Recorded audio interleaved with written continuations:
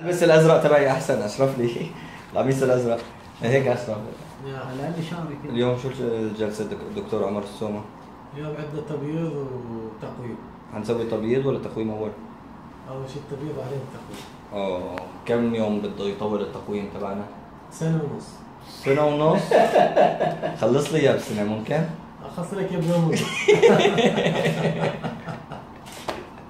على راسي منورة عيادتنا. الله يسلمك. عيادتك.